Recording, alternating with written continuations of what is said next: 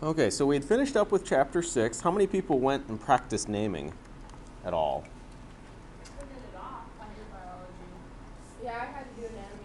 Okay. So some of that stuff, I think the only way you're going to know if you get it or not, meaning I can review it real quick and that might jog your brain enough to put you on the right track, but until you actually go and practice it, you'll never know really if you're getting it. Because remember, it's always easier to follow along on the board than it is to do it yourself with a blank sheet of paper in front of you. So on some of those topics, really the best way is practice makes perfect, especially when there's a lot of practice available. There is, for sure. Okay, so chapter 7 was all about conversions between grams and moles and atoms. And really, chapter 7 is just kind of a tiny little prequel to chapter 9, meaning in chapter 7 we just did the problems to do them, to convert them, and then in chapter 9 we use those conversions in like real problems. And we've also used them on and off in chapter 15 for doing titrations and sort of all along the way.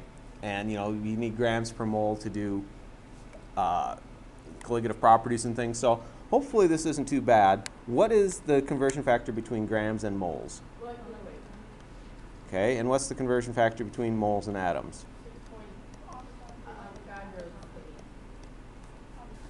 Atoms or anything else per mole. And then the only other thing we talked about is if I have a formula like H2SO4, what are some things I can say about it? Like for instance, there's two moles of hydrogen in one mole of H2SO4, right? And there's one mole of sulfur in one mole of H2SO4. And then there's four moles of oxygen is one mole of H2SO4. So we could take apart an actual chemical compound.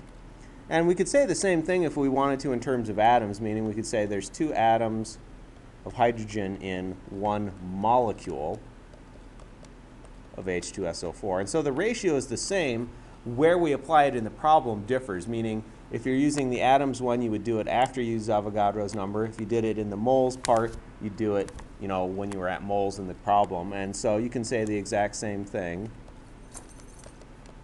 And then for atoms, oxygen is one molecule of H2SO4.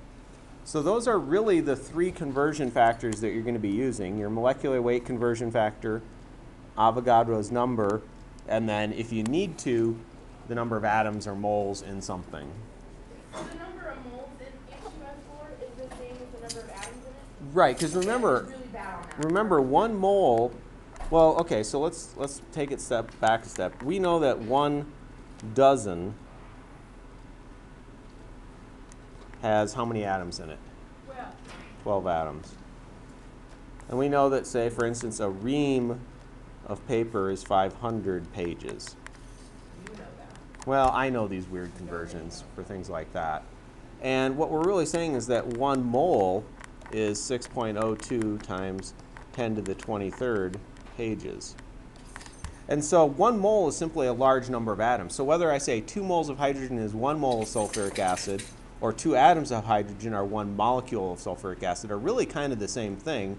The only way, the only thing with the mole is, is I'm really saying there's a whole shit ton of of hydrogen in a whole shit ton of H2SO4, meaning there's a lot of hydrogen in a mole of H2SO4. But the ratio part, that two to one, is still the same. It's two to one. Yeah. So remember, moles are just a fancy way of saying the number of atoms. So it, it's kind of like an upscaling thing where, you know, we might say that one molecule of A reacts with one molecule of B. Well, it's the same thing as saying a dozen A's react with a dozen B's, or the same thing as saying one mole reacts with one mole. It's just Oh, literally okay, a number. makes more sense. Thank you. And so, like for instance, when we were talking about colligative properties in chapter 15, the reason we measured the moles of solute was because we said the colligative properties were proportional to the number of atoms or the amount dissolved in it. And so we could have calculated in terms of atoms, but again, there's a lot of atoms in any sample of anything we deal with. That's why we abstract it to a mole. It's like in baking, you can count the number of flour molecules in a cup of flour, or you can measure out a cup of flour. Which one's easier? probably measuring a cup of flour. Same thing with atoms. We can talk about everything as one atom plus one atom, or we can say it's a mole plus a mole. So let's just do some quick examples. Say I have 24.5 grams of NaOH, and I want to convert that to moles of NaOH. So remember, we only have two conversion factors to pick from in this chapter, really, maybe three if we consider the mole to mole one. And so we know that to go from grams to moles, we simply use molecular weight. And so maybe this is a too easy of an example. And then NaOH is what? 23 plus 16 plus 1. It's about 40. And so we would just take 24.5 divided by 40. And then the thing you have to remember is keep track of your significant figures. So how many sig figs should my answer have? Yeah, so it's 0.613 moles of NaOH. Or if I say that I have 5.8 times 10 to the 26 mole or uh, atoms of uh, sodium, and I want to know how many grams of sodium. And so here, remember, there's no direct atoms to grams one. This is where you have to go through that intermediary of a mole. We know there's 6.02 times 10 to the 23rd atoms in one mole of Na. And then we know that one mole of Na is about 23.99 grams, wait, 22.99 grams of Na. And so if we plug that into our calculator, probably the part that you have to make sure you remember the best, the most, is simply how to type in all those big exponents. So make sure that you kind of refresh your brain with your calculator. And I get that this is 22149.83 blah blah blah, but I should only have two sig figs, so I'm going to say that's either 22,000, oops, I got an extra mark there, grams of sodium, or it's 2.2 times 10 to the 1234 grams of sodium. And it's a positive exponent in this case because it is a big number.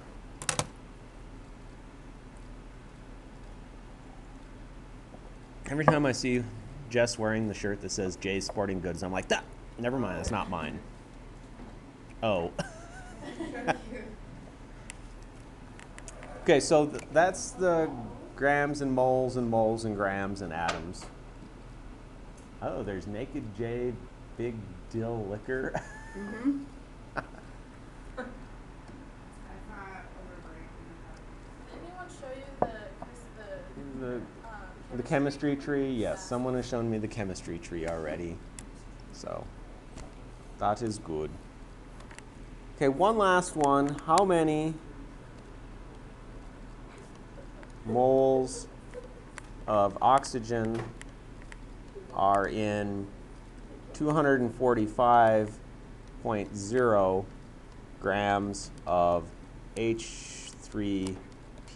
Alright, let us figure this one out. Okay, we'll take a break because I got to go figure out the molecular weight of H3PO4 anyway.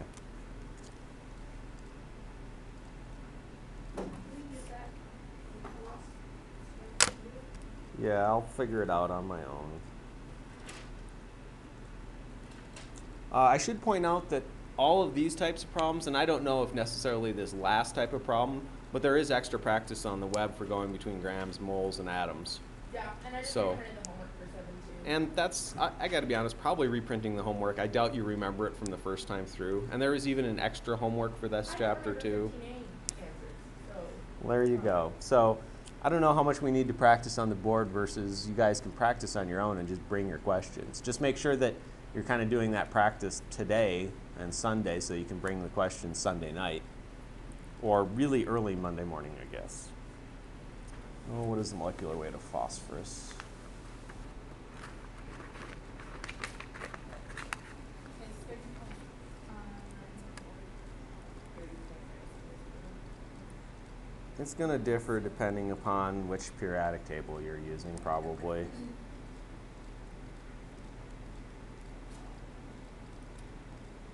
And it really depends. I tend to round numbers, especially in my examples, more than I should.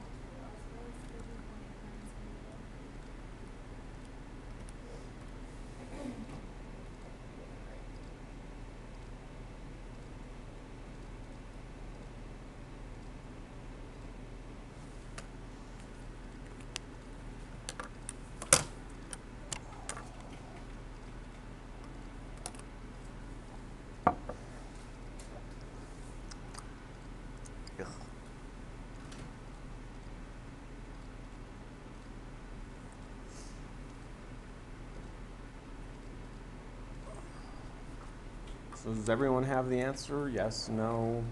Need another minute? I'm working less on the answers and more on the steps. Make sure I know what I'm doing.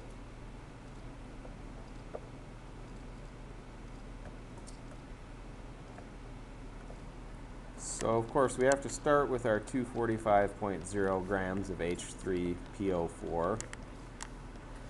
And we should know the only thing we can ever convert grams into, aside from say kilograms or something, is generally moles. So we've got 97.98 grams of H3PO4 is one mole H3PO4. Now, again, remember if you used a slightly different number because you kept track of sig figs better and you looked on your periodic table more than I did, you might have a slightly different number there, but that's okay for a practice like this.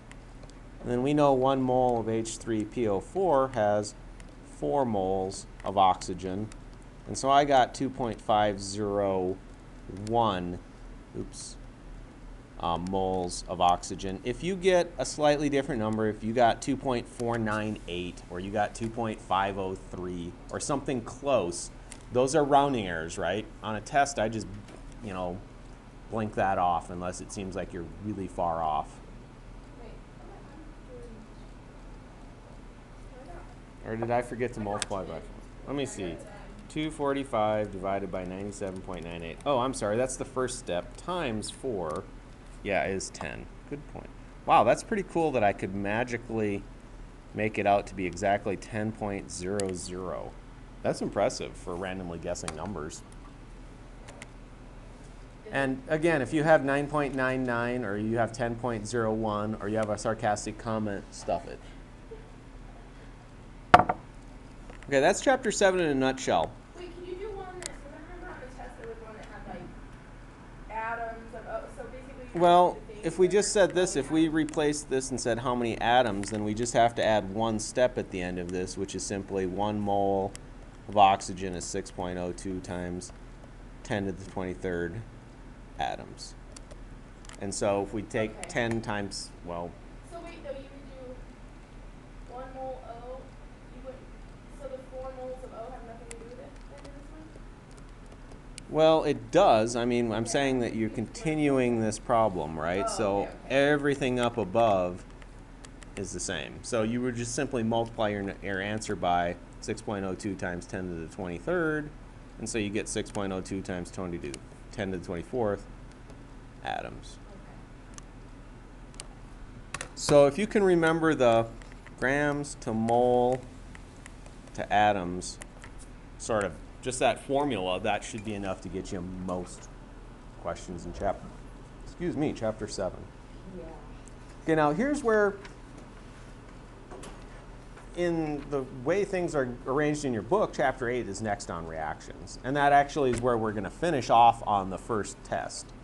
But chapter nine makes more sense to do right after chapter seven simply because it's grams per mole and stuff. But we'll go in order just to be For chapter eight, it's just reactions. Just reactions. Literally, the page is complete these 10 reactions. So when I go back through the test, end with the reactions, I don't have to do like any of this. Correct. So stop with chapter 8 for the first part of the final and realize you're just going to have to complete 10 reactions. And of those 10 reactions, we know that in general, they're going to be double displacement, acid base, single displacement, combustion, meaning those four primarily, and there might be one combination or decomposition. So ask yourself where is the best place to spend your time studying? Probably the four main reactions and blow off the one that you might get wrong. Except for we've had a lot of practice on these other ones that not that one that we did on. You should do an example of a combination.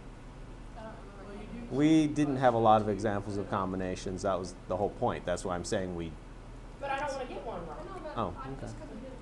Well, I, I, I will still review it. I'm just saying if you're focusing your studying. What did you say, Jess? Well, those I know I can do. Question two, 'cause I don't really remember them. Well, that's why I listed it as the four that are the most common ones, right? So we'll cover all of them. I'm just saying that if you're focusing your studying, focus on the big things. I mean, if I was memorizing scientists, probably the last scientist I would remember is Goldstein, simply be, or Stoney.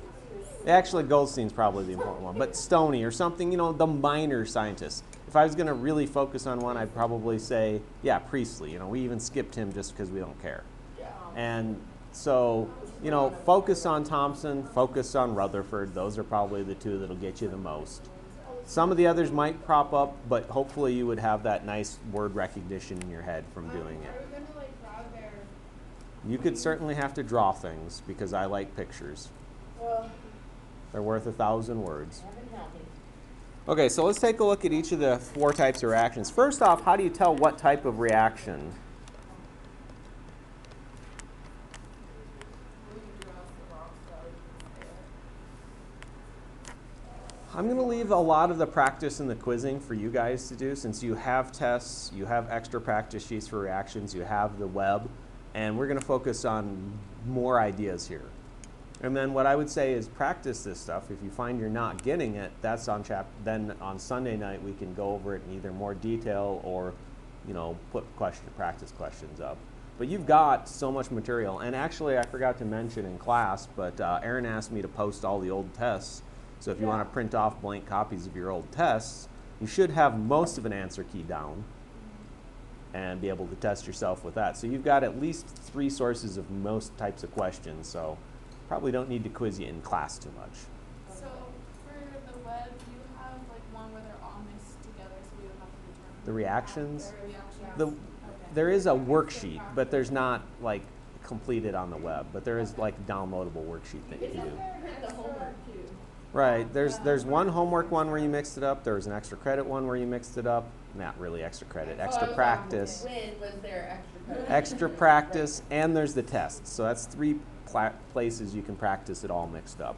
So how can we tell what type of reaction? How do I tell the difference between, you know, all of the different reaction types? Double displacement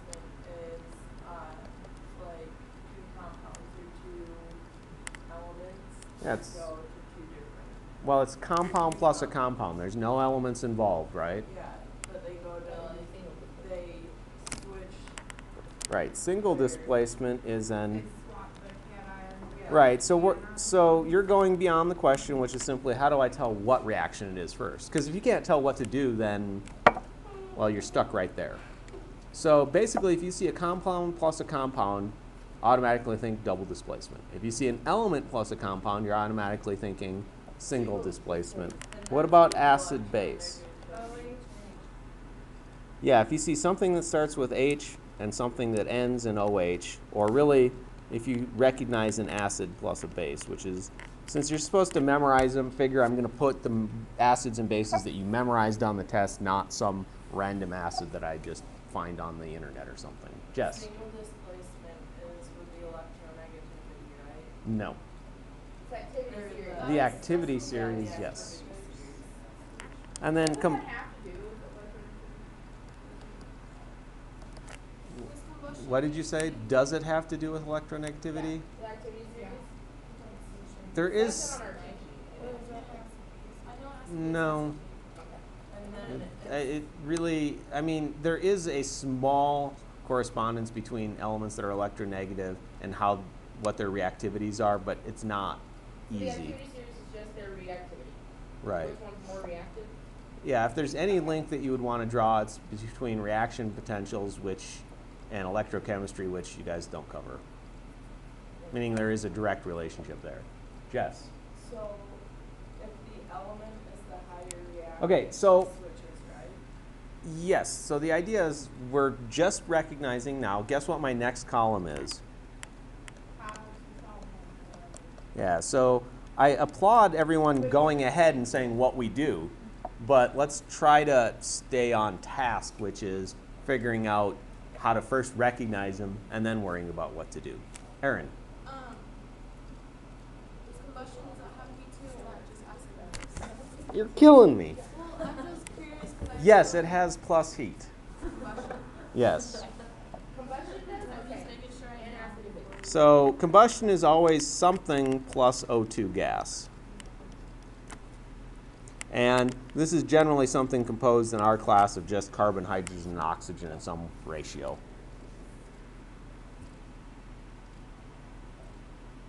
Okay, so for the what I do people and the people that are jumping way ahead of us, for double displacements, we swap the cations, right? And remember, we swap one copy of the cation because a later step is to balance the charges.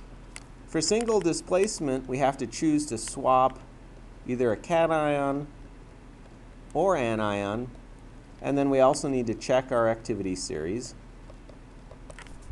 For acids and bases, we know they always occur. And so we swap the cations and add plus heat. And then for combustion, it's always the same. We always make CO2 gas plus H2O gas plus heat. And so sometimes, but remember, there's tricks we've learned. It's the front, the, the number in front of the first compound is always a one or a two, basically. And so if you end up with an odd number or you end up with something that looks like it's going to be a fraction, simply multiply everything by two, and that'll probably solve the problem 99.9% of the time. And figure that J's unlikely on the test to throw on a question that's combustion that includes the other 0.1% of the time. Okay, so Remember, I, I don't, I'm not going to say I cherry pick the easiest questions to put on the test, but I certainly try to get rid of all of the most difficult ones. Meaning, I don't try to throw any surprises at you. I'm not going to throw some weird combustion at you where the coefficients to balance that are 8 plus 9 plus 7 plus something else, you know. I'm going to try to keep it pretty low, nice, easy numbers. So you can count on your fingers and maybe toes occasionally. Okay, so we have what do I do? And then maybe we have to ask, or I always like to add that miscellaneous category. Here we have to check to see if we have a change in state. Meaning, at some point in the reaction, we have to produce either a gas or a solid. For single displacements, we already ch- said check the activity series. Uh, for acid bases, we always know and occur, and we have to put heat. And for combustion, we always have plus heat also. so if it's not a change of state, also H2O is not aqueous, it's liquid, right? And that's different. H2O is generally written as a liquid because when, okay, so we should also put if we form H2O, we know our reaction forms. And we re- the reason we write it as a liquid is everything else is dissolved in water, right? So the definition of aqueous is dissolved in water. One of the things we always have to recognize is we don't write water in reaction very often as a reactant, but everything we do is in water 99% of the time, right? And so it's always there. And but if it is a product, we have to write it down because we know that things that form water, it's a small stable molecule, they almost always occur. Does that apply to every one of those, or just? Yes, if you form water as a product, we said that that is one of the signs that a reaction occurs. We said signs that a reaction occurs are change in state,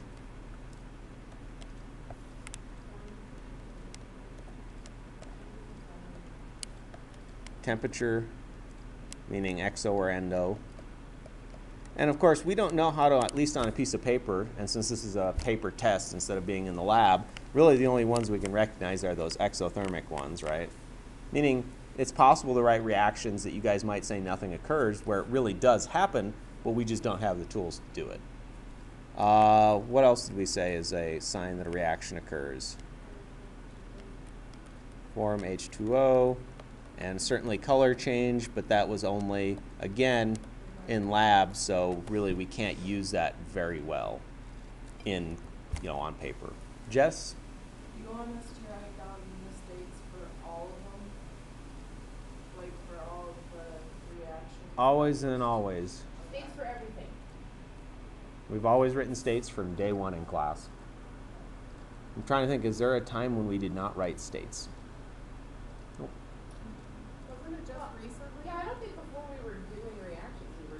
Well, we didn't do reactions before we did reactions, really. So, you know. Well, yeah, but we just didn't put the state of things was talking about. Yeah. Well, once we learn the states, we've always done. Right. So since chapter eight, you've always put states in. Okay. Well, chapter eight was like halfway through the semester. Yeah, and we didn't have but more than three reactions before chapter eight. Okay, now I'm going to add these last two because you wanted them. How can I tell a combination?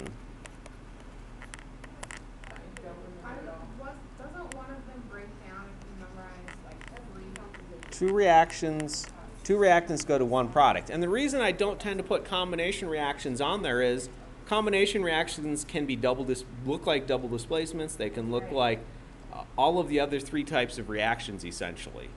And so one of the reasons I don't tend to put combinations on tests where you at least have to fill in the product side is because it's hard. Now what I will do is ask questions like this. You know, to some to some molecule. right, and then you do that. Meaning, generally, we do the combinations backwards. And the decomposition ones, Taylor's right, is that we have one reactant that has to break apart into two products. And that's the one where we generally remove a small stable molecule.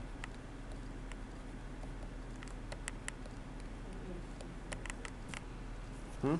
H two CO three, isn't that one? Yeah, and there was three that we were supposed to remember that, I don't know, I guess I should just put them up here for SO3. And they all break down into water plus something. You know, CO2 gas, SO2 gas, and NH3 gas. And those were the three decompositions. And really, we tended to see them more as on the product side of our double displacement reactions than we ever did on our other parts, right? Meaning, I could put just straight up say, okay, here's the decomposition, or I could include it as part of another reaction, which is generally where it showed up. Because again, on the test, we don't tend to have too many decomposition reactions because I got to admit they're kind of tricky and hard. And there's also usually about more than one. There's usually more than one right answer, so that makes grading it that much harder too. Okay, the other thing we have to remember is sort of what our steps are. So we said that we always want to ID the reaction type. And then the order changed a little bit. We either did the reaction Or if it's a single displacement, we immediately said, well, you can just check your activity series to see if we even have to do it. And then we remembered to um, balance charges. We had to remember to check our diatomics. We had to add states at some point. And again, for some reactions, you can go way back up here and add the states in here to decide whether you should do the reaction or not. And then the last step was to balance the reaction.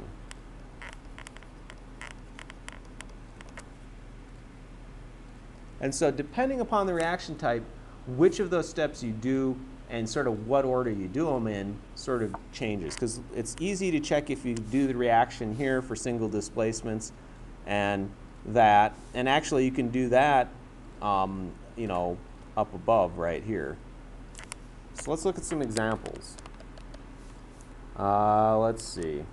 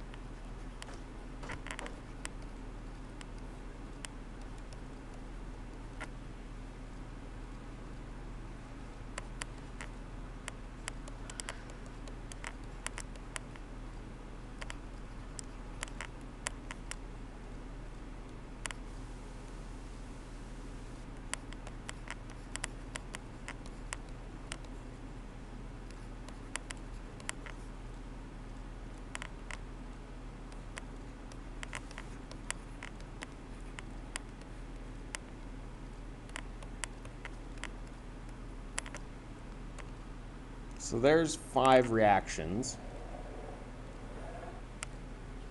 And it's up to you how you would want to approach these. Meaning, are you going to do them all at once? Are you going to go through and identify what type of reaction they are and do all the double displacements first and then do all the single displacements?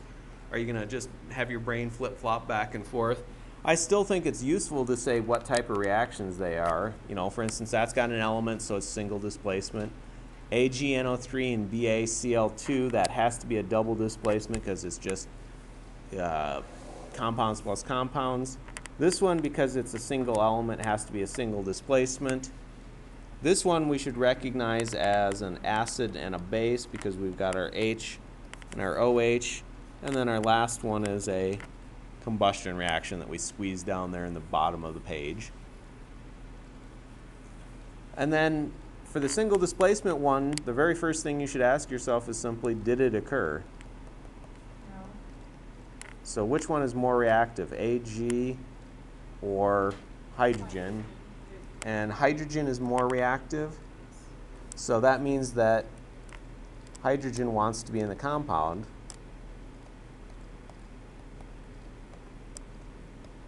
Therefore, no reaction occurs because it's happy. So we see that and we go, yay, less work. Um, can't you figure out if there's gonna be a reaction using the states? Like, yeah. Yes, but in this case, if you did the reaction, and you would notice that there is a change in state because we would form uh, hydrogen gas if we did the reaction, but that doesn't mean a reaction occurs for single displacements. For single displacements, the only thing that determines it is that activity series. So you can have a single displacement where no changes of state occur. It's pretty rare. But you can also have a single displacement that no reaction occurs even though it looks like a change in state should occur. For double displacements, we swap. So I swap AgCl and I get BaNO3. And you can even ask yourself right now, before you do any other work, does a reaction occur or not? Because you can go and look up the states. Barium nitrate should be aqueous, and silver chloride should be a solid. So now that you know the reaction occurs, now you can go and finish everything off, which is, again, balance the charges. And so we need to balance the BaNO3. Would it only be two? Oh, sorry, yeah. See, I was saying NO3 as I wrote it, and I wrote a 3. Good call. And then after we balance the charges, we should look for diatomics. There's none. And after that, we should balance the reaction. So we should say, well, it looks like since I need two NO3s, I need to have two of these, and I need to have two of the AgCls. Okay, we've got another single displacement. So again, check the activity series. So what I'm comparing is what?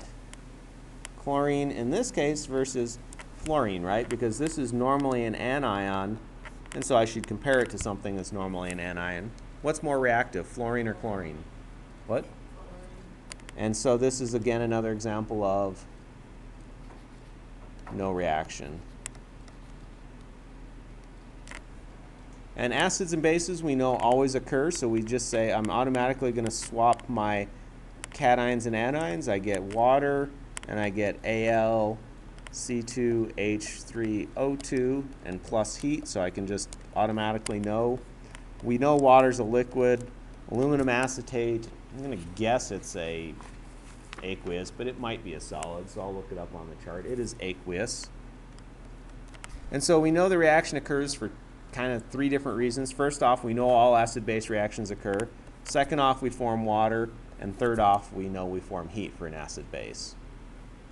Uh, we have to balance charges after we know, after we do that. So here's a plus three and a minus one, and water is nice, it's pre-balanced. So I need three acetates, and so that means I'm going to need three acetic acid molecules, and that's going to mean I make three water molecules. So we balance the reaction too. And I know I can go through this much faster than, you know, potentially you guys can keep up. That's why I always say it's easy to follow on the board, especially if, you know, I'm balancing something. You're like, oh yeah, that's really obvious that that's the way it goes. So practice. Go ahead and, you know, pull out that reaction sheet and practice on it and see, you know, what works and where you get stuck so that you can ask questions on Sunday night. The last one we recognize is combustion because of the O2. We know that that automatically makes CO2 plus H2O plus heat. We can put the states in even. And here, when we're balancing it, I usually start with the carbons. I've got one and one. Uh, the hydrogens, I've got four on one side, so I need a two all over here. For oxygens, then that's one, two, three, four, so I need a two here. And I picked a, you know, randomly picked a nice, easy combustion reaction to balance. It comes out nicely. Yes. Um, in the States, when, for like double displacement, I don't know if that justifies that, but if AgCl was also aqueous. Then we it'd write no reaction. Wait. Five Five what? One, two, three, four. And there's, oh, you're right, there is one. Oh, this is a harder one. Good job, Brittany. So there really is, since there's one here and we've got three on one side and four on the other, this is a hard one to balance. So what's the easy thing to do if it's hard to balance? Plus five or. Yeah, just go two and two for my carbons. So now I've got eight hydrogens, so I need four here, right? So now I've got four oxygens, eight oxygens, but I've got two on there, so three. Good job, Brittany. Jay's Also have H2O as a gas for combustion. Is it a gas? H2O is a gas? Generally, in a combustion reaction, remember there's so much heat generated that almost always the water that would be normally a liquid is turned completely to a gas. All the time. Now, if we ever, do, well, when we look at combustion reactions more in second semester, what you'll find is that when you do the combustion reactions, sometimes the combustion produces water, and sometimes it, and, it, and sometimes it produces the gas. And so, you know, if you're writing based on observations, you should write, you know, liquid or gas depending upon what you visually see. But realize that most often we see it turn straight to a gas. Like if you have a bonfire, do you see it raining? No, you see the, the all the water is in the gaseous state.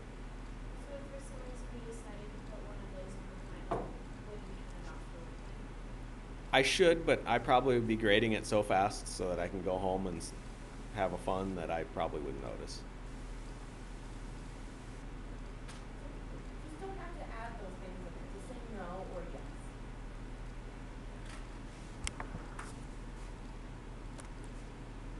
Okay, that's reactions. We can do a bunch more, but again, unless you guys are practicing them on your own, you're not getting anywhere. I see on our own. And so what I'm going to do is I'm going to suggest we cover chapter 9 since we have the time before noon and it's going to be on the second part of the final, but really what I would suggest on now I don't know, you guys have two finals on Monday already or Some Yeah. Some of you do. And so it's going to be tight. You're going to have to do some of your studying for the second half of the chemistry final on that day. I thought about putting the chemistry final on Wednesday at some random time, but. Yeah, so I don't think it really makes a difference what day I put it on. It's going to suck. So what I'm going to suggest is we're going to go through a review of 9 and 10 for sure and 11. What's ten? 10 was all the scientists again in quantum mechanics. But again, we're gonna just, you know, one name, one part, right? And then the other thing I would, so I would suggest, you know, we'll cover 9, 10, and 11. And then 13 through 16 should be kind of fresh in your head, hopefully. But, you know, go through your tests and see which parts kind of confused you. And then uh, remember, we'll have a study session Monday night, but you should practice sometime, hopefully Monday afternoon before we do the study session so that you can come and say, okay, these are the things that when I was practicing them on the worksheets or homework or something, I kept getting wrong.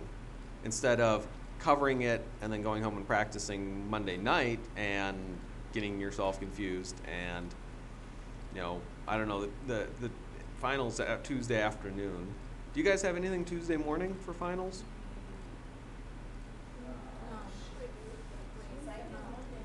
Well,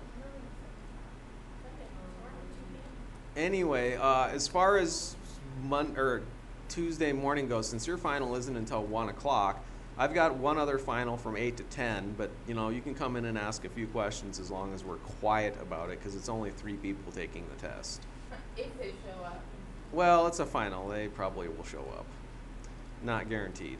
But also, I would have from 10 to 12 free, or 10 to 12-ish free. And so if people wanted to come in before the final and get a few last-minute questions in and examples and stuff done. Aaron?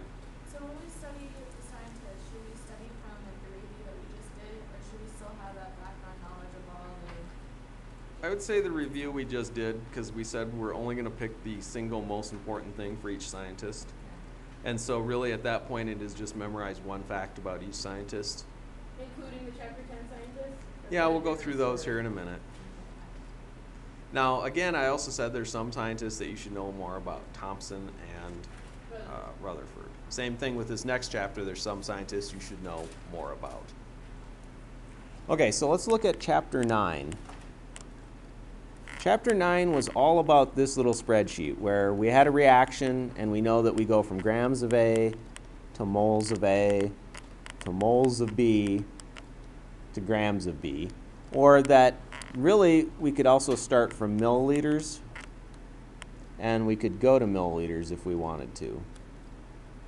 But that that was essentially the overall process for most of the problems. And then the conversion factors we had to remember are molarity, molecular weight, mole to mole, molarity, and molecular weight.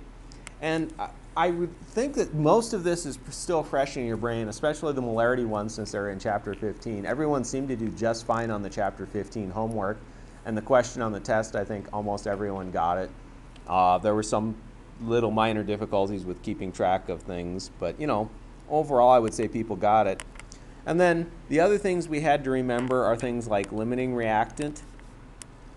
And so if I'm given two reactants, what that means is I have to take grams of reactant 1 and grams of reactant 2 and convert them both to grams of one of the products. And it doesn't have to be product 1. I guess I'll put a question mark here what product you convert it to, right? And the one that produces the least amount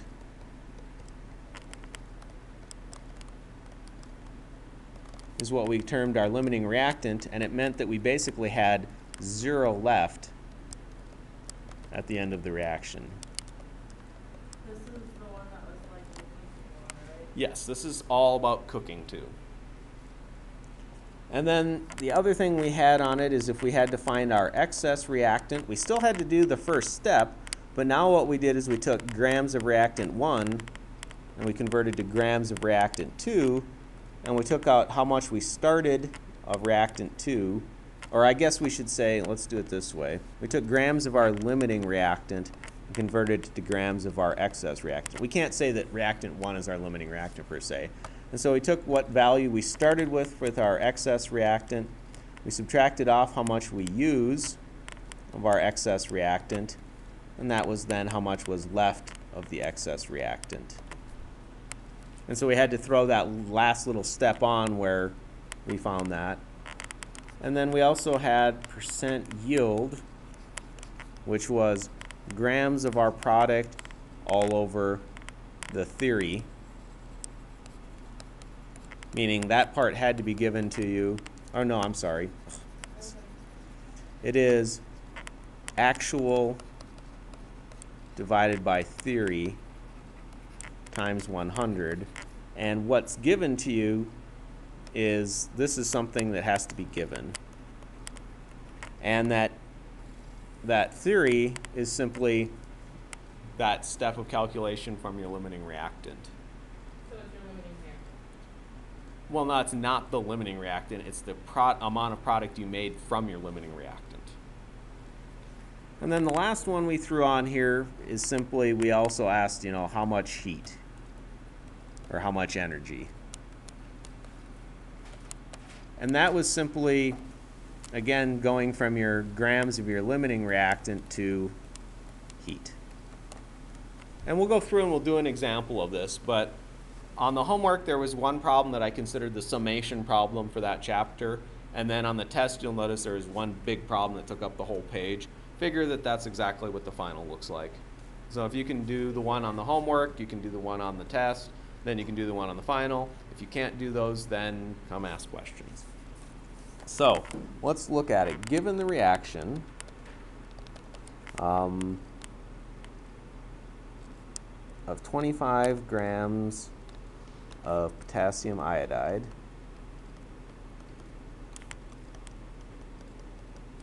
plus 8.0 grams of barium. I better make sure something actually occurs in my reaction. Nope, that's not a good one. Um, of lead 2 chloride. We want to answer the following questions. A, um, type of reaction. We'll answer, you know, we'll write the reaction. We want to know um, what is the limiting reactant?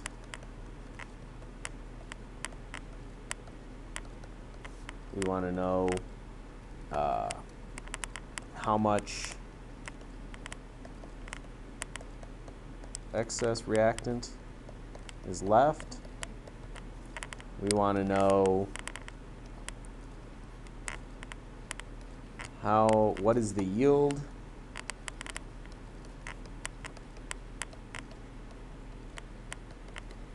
of the solid product. We want to know that if I made 2.6 grams of product of solid, what is the percent yield? And we can say how much heat is generated if one mole of solid product produces 25 kilojoules of heat. Now, will I ask all seven parts in this? Probably not. But for instance, even if I only ask part five, you have to do parts one, two, and three anyway. And so you're probably going to have to do all seven steps at some point, or at least the majority of those steps anyway. And I would say that this is almost verbatim what's going to be on the test, except for the fact that it won't probably be this reaction. I, since I don't have the test in front of me, it could be this reaction for all I know, but I doubt it. So what's question one? What type of reaction is it? Yeah. And then reaction two, we have to write it, so we know that it's potassium iodide plus lead 2 chloride. And I think lead 2 chloride is actually a solid, but it doesn't really matter on that side. Yeah, it's a solid. And since it's a double displacement, we're going to form KCl, which I know is aqueous, plus some PbI2, which is a solid. And then if we balance it, we should notice that we need two potassium iodides, and we make two potassium chlorides. And of course, I'm going to have to go back and forth because I forget what the questions are. We had 25 grams of this, and we had 8.0 grams of lead 2 chloride. And so we need to do a limiting reactant calculation. So step three is find limiting reactant. So we know that we're going to start with both of our reactants, 25 grams of KI. And we know grams of KI, oops, grams of KI is one mole of KI. We know that 2 moles of KI produce 1 mole of PbI2. Now, why did I choose PbI2? I, I don't remember, I thought you came out of it. Because the next couple questions ask how many sol- how much of the solid I make, right? So I might as well use that as my in my limiting reactant calculation since I need to answer that question later. And we know that one mole of PbI2 is so many grams of PbI2. And we'll have to look up these molecular weights in a second. And then the other reaction is we take point, 8.5 grams of lead chloride and we do the exact same thing, except obviously we have a different mole to mole ratio and different molecular weights. But it's the same general process, meaning we're going from grams to moles to moles to grams. Oops, Cl2.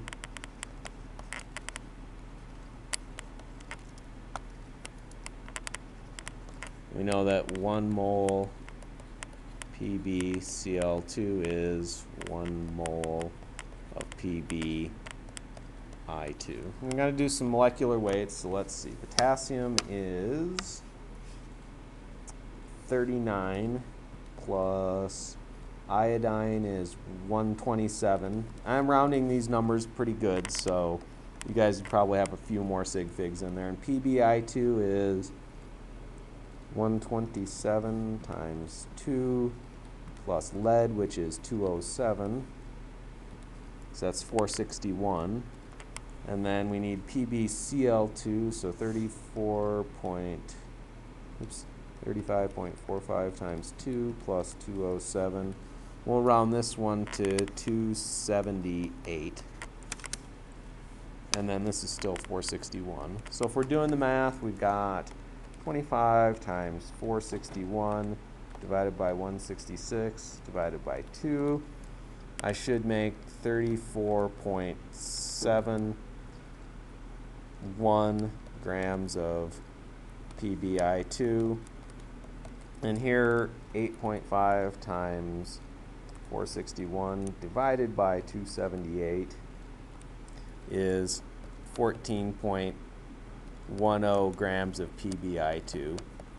And really, the reason I kept more decimals is that this is going to be 35 if we keep track of sig figs, and that'll be 14 if we keep track of sig figs.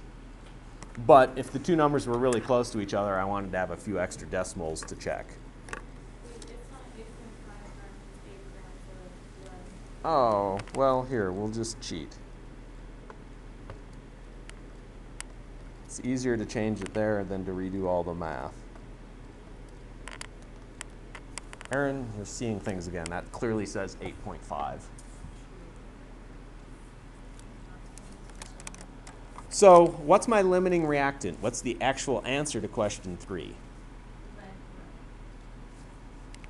Yeah, so here's my actual limiting reactant because that produced the least amount of the product. And then what was question four? How much of the excess reactant is left, right? So for the excess reactant, remember, we want to take grams of our limiting reactant and convert it to grams of our excess reactant. So we start with our 8.5 grams of PbCl2,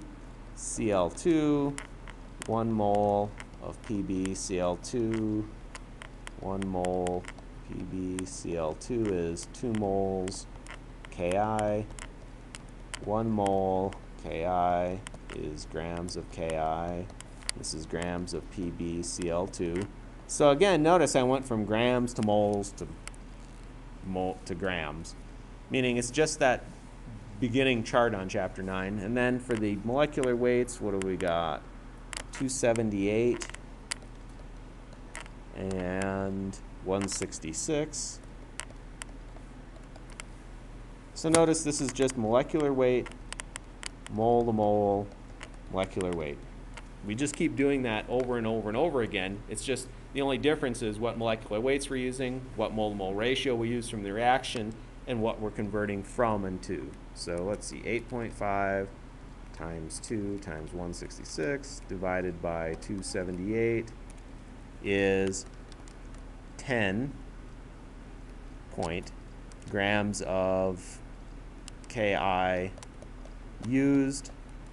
Therefore, if I take the 25.0 grams I start with, I subtract off 10 grams that I use, that means I have 15 grams left over. And so my actual answer is the 15 grams part because that's the amount that's left over, not the amount that I calculate using the bar problem.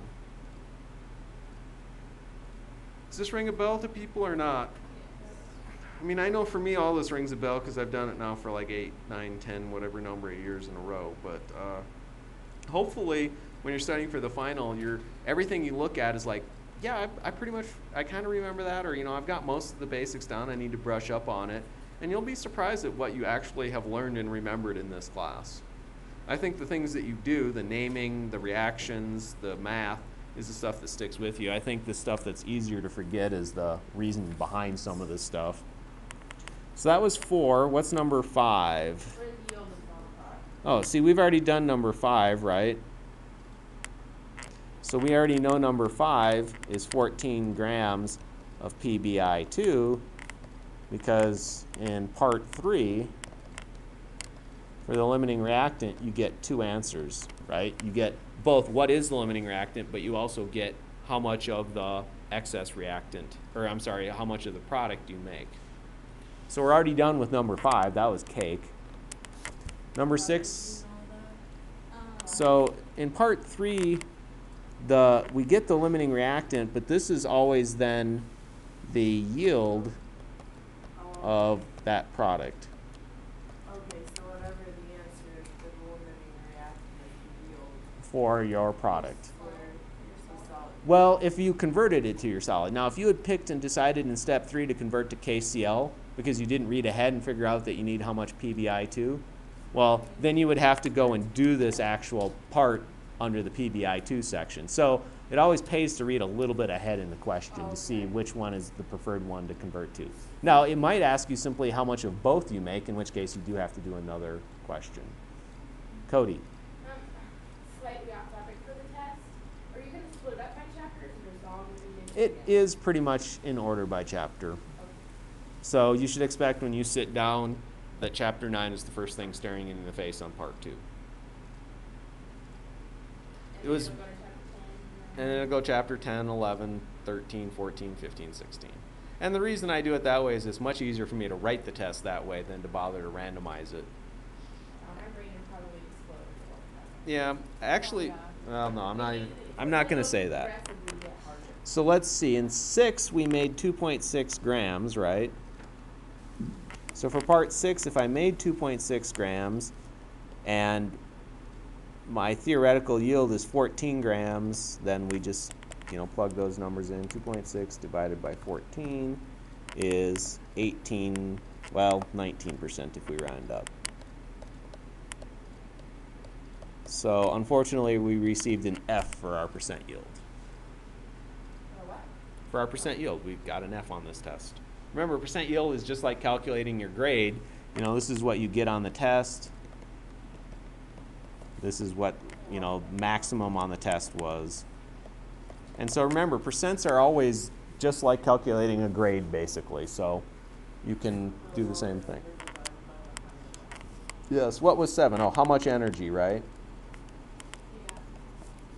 And one thing we should recognize is we said that there is 25 kilojoules per mole of solid, right? So what we should say here is that this is plus 25 kilojoules, right? Because we had one mole of solid when we balanced it. So then we can just start from our excess reactant, or we can start from our limiting reactant. It doesn't really make a difference. Um, I always like to start from the limiting reactant just because it's the safe place to do it.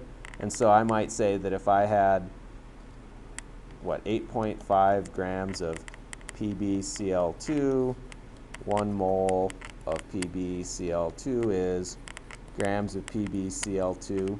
And then instead of a mole to mole ratio, remember what you say is that I've got one mole of PbCl2 is 25 kilojoules. And what is the molecular weight of s- PbCl2? 278. And so 8.5 times 25 divided by 278 is 0.76 kilojoules. So instead of going into mole to mole ratio, you just put down your Yeah, this is my mole to kilojoule ratio. Because heat isn't measured in grams, right? You don't measure heat in moles. You could, but you don't.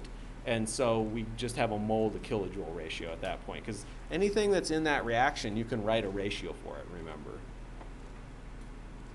That's chapter 9 in a nutshell. Now, you, I, well, that, that really is the tail end of it. Notice that, remember when we did the chapter nine homework, we had like six homeworks that built up to this type of question, right? It is easier once you just sit down and look at it and think about it. And- it seems like a lot. I think in the beginning, you know, we needed to go through those steps because mole mole ratios and molecular weights and all that stuff was new. I think the second time through, we can cut right to the end problem and say, all of this should ring a bell, hopefully enough for you to do it. And if it doesn't, then we have to go in and fill in, you know, where we got the mole to mole ratio, where we got the molecular weights and things like that. It is 1114. So chapter 10.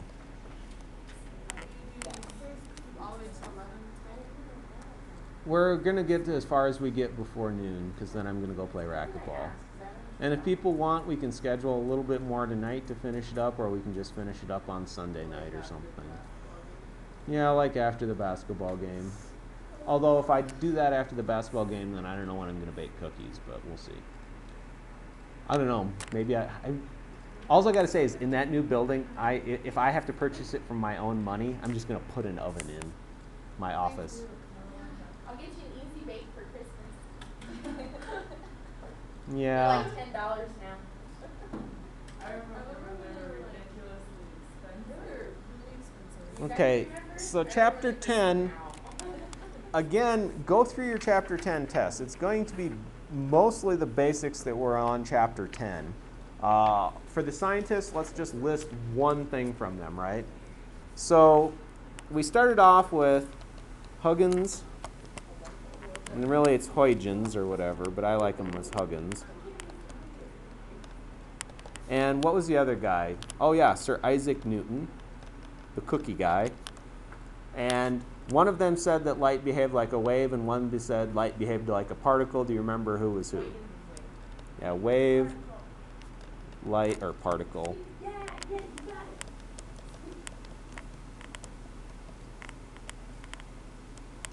And that was the early history. And the one that was most important at that point was people believed the particle model until who?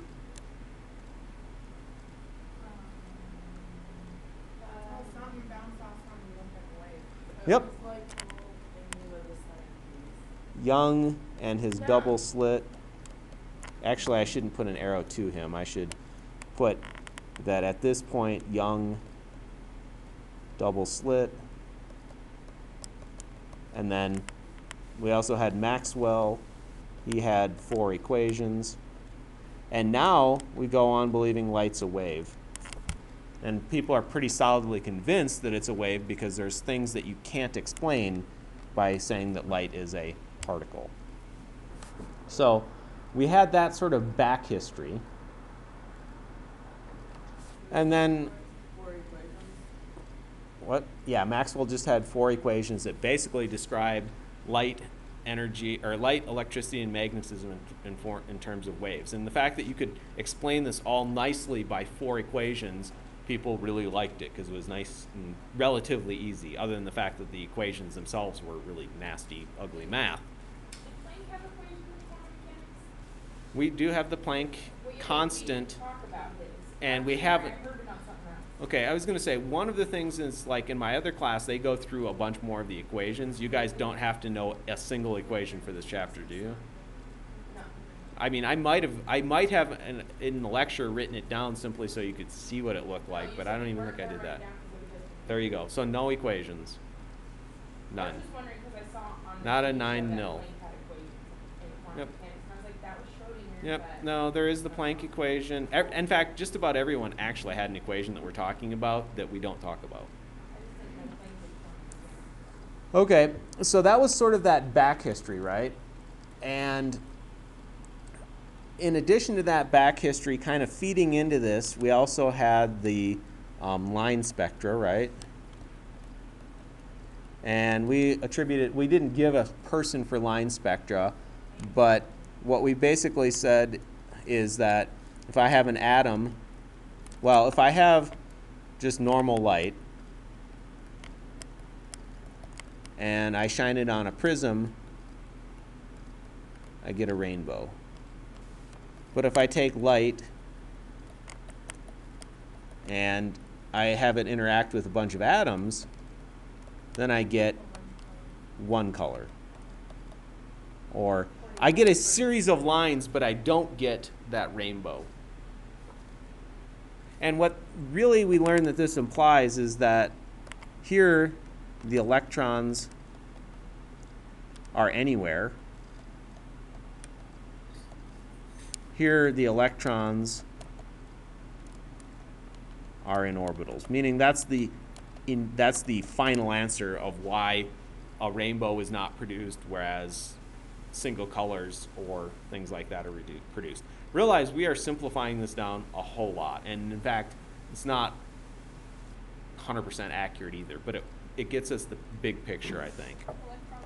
So really just remember that line spectra can either produce rainbows, but for atoms they produce single lines. That's why it's called the line spectrum phenomenon. And that that was the big impetus for going from which two model or which model to which model. So this is all back history right here. And I guess we should also maybe put two more pieces of back history in. We'll, we'll do that because it all kind of goes in here. Um, this is the next page. So it's things that are going towards that next page.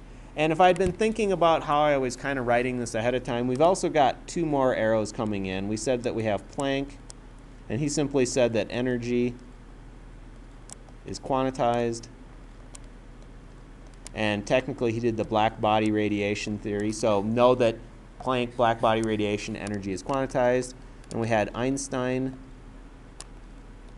and we had the photoelectric. And he also said that energy is quantized.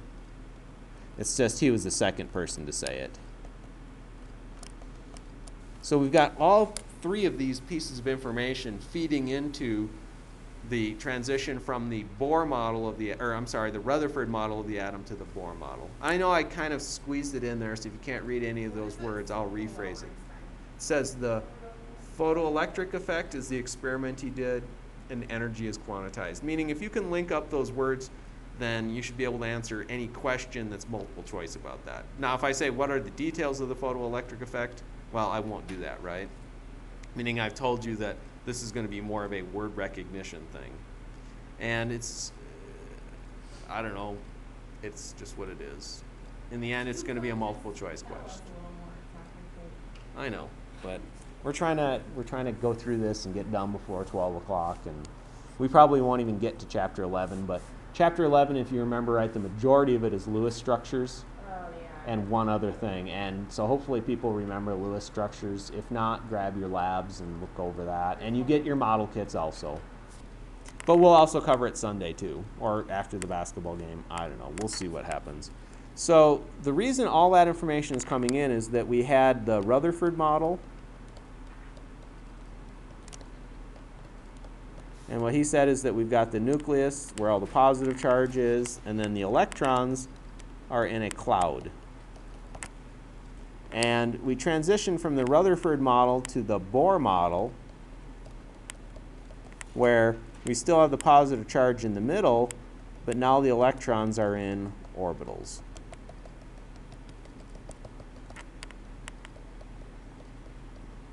And the reasoning behind that is that here, this predicts a rainbow because the electron can be anywhere.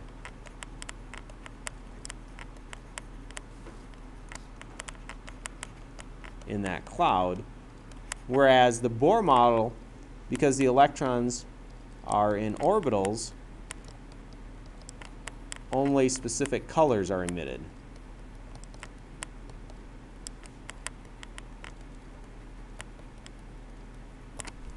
And the reason Bohr said the electrons are in orbitals is that he said they're quantized. Or basically he's saying, well, if energy can be quantized in the in the uh, by Planck and Einstein, then electrons can be in quantized orbitals. And if you remember right, the flaws that he had is it only worked for one electron. And I shouldn't say it only works for one electron. Theoretically, it works for as many electrons as you have. Mathematically, you can only solve it precisely for one electron. This is flaw for Bohr. These are flaws for the Bohr model. See, the Rutherford's model, his flaw was basically can't explain line spectrum. And then the other the other flaw for the Bohr model is basically no reason for quantization. Quantization.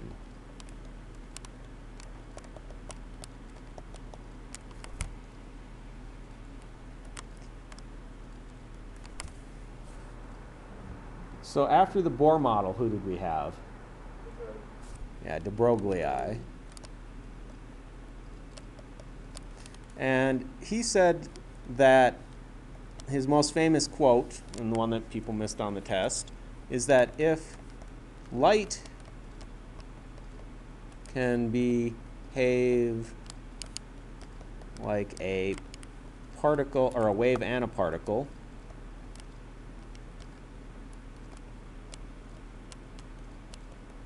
then an electron can behave like a particle and a wave. So what he's basically saying is that if light that we used to think was a wave can behave like a particle, and if then an electron, which we normally think of as a particle, because when Thomson discovered it, it has mass, it casts shadows, you know, it has the properties of a particle, then maybe it can behave like a wave. And that's what we call wave particle duality. And that's what allows us to explain orbitals. Because only a very specific wavelength can fit at a very specific distance. And that was that kind of picture we used there. It's kind of like a guitar string can only play one note if you just pluck it, right? And that to change the note you have to change the length of the string. Now, that that's pushing my musical knowledge. I think that's a true statement, right? Or can you play more than one note?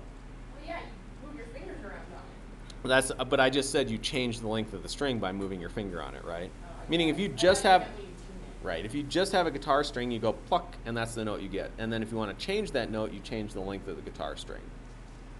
So, the i- By pushing it down, you change the length of it. Yeah, because it can't vibrate under your finger. Now it does a tiny little bit, but I mean we're talking a perfect guitar string. Only can have one note. And really it can have harmonics of that note, but again, let's not worry about the details too much. Okay, after de Broglie, we did have well, we have and see this isn't really a flaw in his model, but his flaw was pointed out by Heisenberg. And the only reason we care about Heisenberg is because we watched Breaking Bad. And if we talk about Heisenberg real quick, all he says is that you can't know both the position and momentum of an electron. Or basically, he says you can't have orbitals.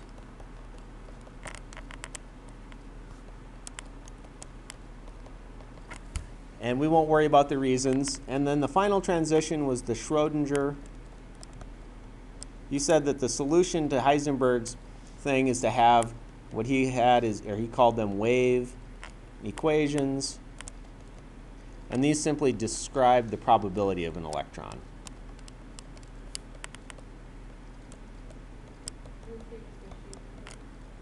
Yeah, and he gave us the shapes. The probability of an electron being in a certain position around an atom, or certain position, or location, maybe is a better word to say. What really happens at this point is we've got the whole idea of quantum mechanics. I mean, that kind of starts with de Broglie and this whole wave particle duality.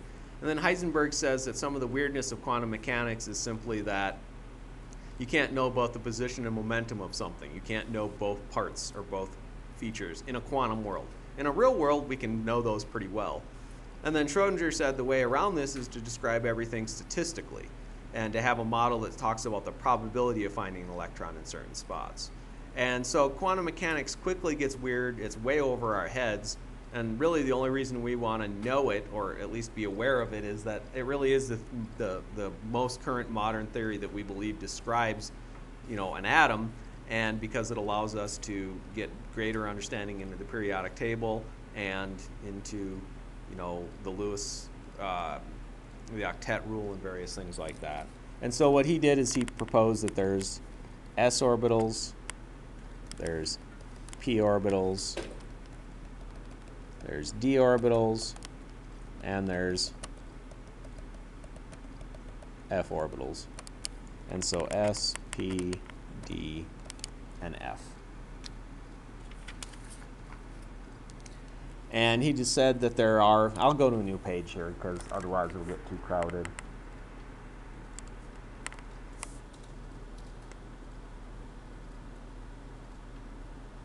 So he said that there's basically four quantum numbers. There's n, l, m sub l, m sub s, and n is the principal. It really is simply the distance from the nucleus. And that's important because we know that this describes the row that we're in.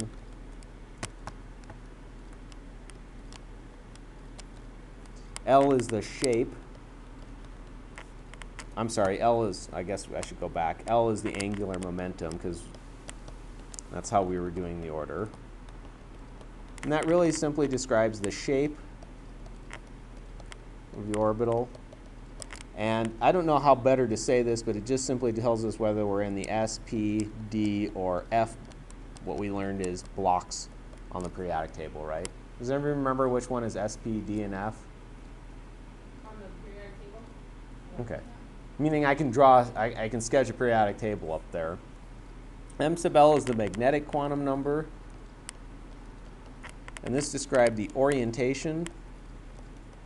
Or the reason it's important to us is it tells us that an s orbital has two electrons, p orbitals can have six, d can have 10, or f can have 14. And that's why there's two s columns, six p columns, 10 d columns, and 14 f columns. So each of the quantum numbers describes something else. I'm sorry, I, I let me go back. I, I kind of skipped a step. There's one s orbital, three p's, five d's, and seven f's. And this was the electron spin. It basically says that it can either spin up or down, meaning there's two choices.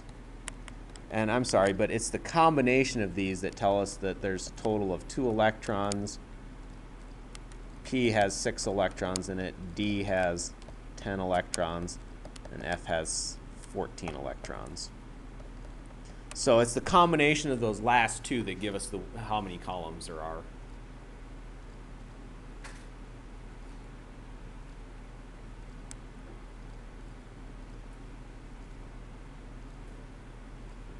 Chapter 10 is a big chapter.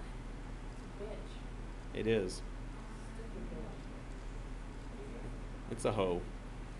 I used to like it until I.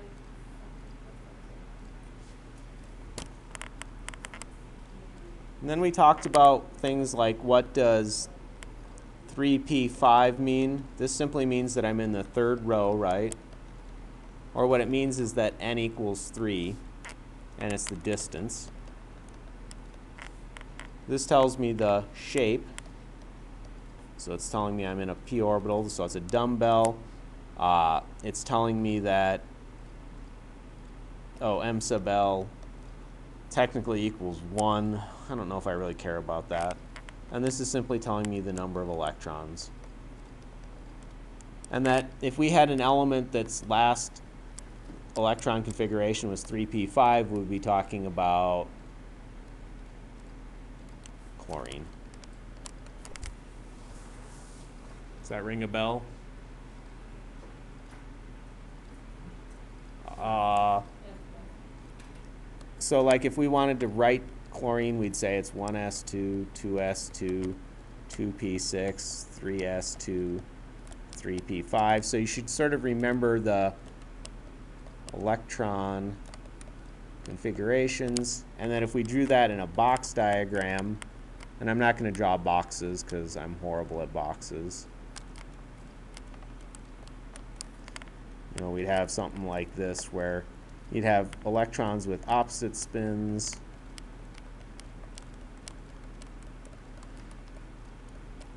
And then the last five electrons are not spinned until, or aligned until we have to, and not paired up until we have to.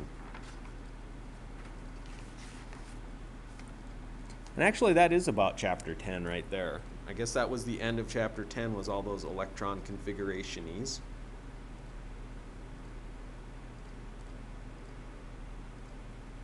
So, chapter 11, I'm going to break into two parts. We'll cover the first part up to Lewis structures, and then Lewis structures, I'm going to let you probably have to review on your own, and we'll either pick them up, or uh, we'll pick them up tomorrow night, probably. So, the one thing you have to remember from chapter 11, or the two things, is there was, if I draw something like this, What we said is that we can describe it in terms of Lewis structures by saying there's one dot here, there's valence electrons here, and that we'd write it like this.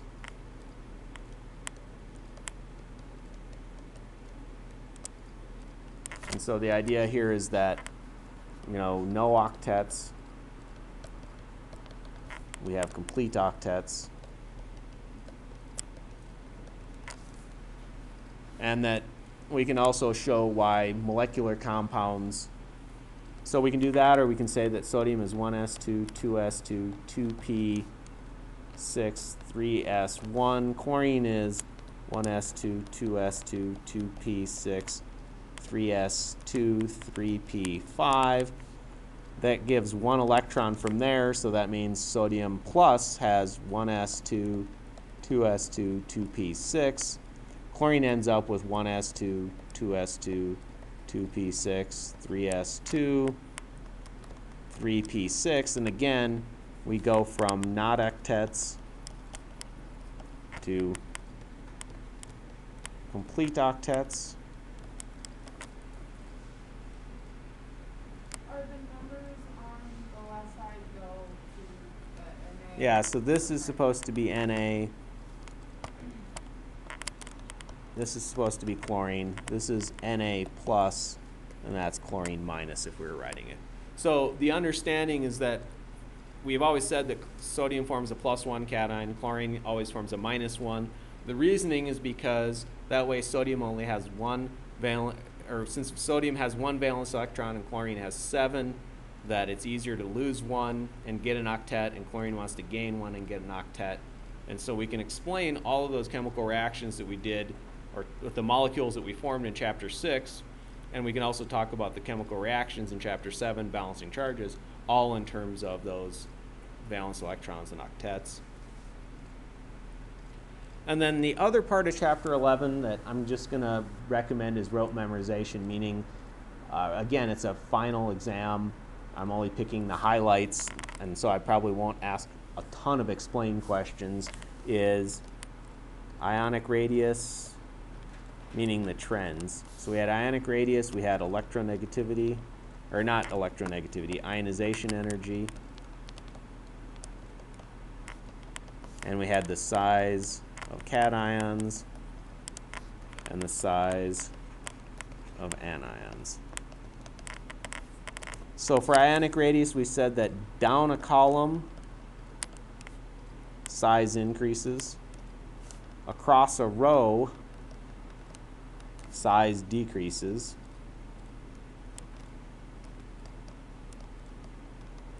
We said for ionization energy, the trends are exactly the opposite. Since the molecules, since we're going down a column, the molecules are getting bigger. That means that the ionization energy is getting smaller.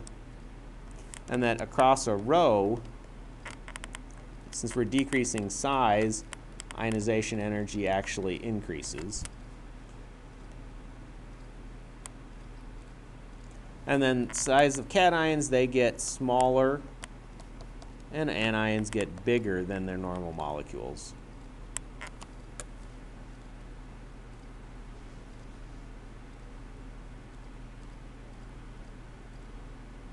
And then at that point, we were transitioning into things like Lewis structures.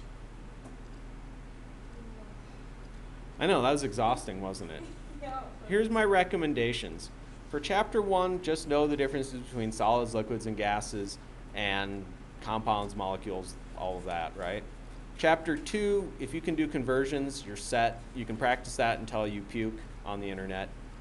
Um, hopefully, no one's puking, but uh, chapter three was just memorize things that we've asked you to do, like metalloids and stuff from the entire semester. Oh, we skipped chapter four entirely. Whoops. I thought you said that we covered some of part four and chapter three. Really, the big thing is Q equals ms delta t from chapter 4. Honestly, I'll even look on my final and see what else I threw in from chapter 4 out of curiosity. That's all that was on the touch four end. The touch Well, there was a lot of other stuff, but it's all stuff that I think is, that if I said it, you'd know it. What did you want me to do this still, Brittany? Um, chapter 4 is really, was that and conservation of mass. It was also physical and chemical changes and stuff, but I'm not going to put it on the test. I'm just going to have basically a Q equals ms delta t question, or two tops. And I got to be honest, I could put those in the chapter 13 test and be just as happy, right? Or 14, whichever one that was. Um, chapter 5 is scientists and models. Chapter uh, and properties of protons, neutrons, and electrons. Chapter 6 is naming. Chapter 7 is grams, moles, atoms. Chapter 8 is reactions. Chapter 9 is the problem we just went through. Chapter 10 has a lot of shit in it. Maybe I should narrow down my scope and tell you more what's going to be on it. But really, if you master the scientists, the understanding of quantum numbers, and the shape of the periodic table, I think that covers chapter 10. I don't know. Sometimes it seems like it's very little, and then when I start adding it all together, I'm like, it's an awful lot. But figure if you did well on.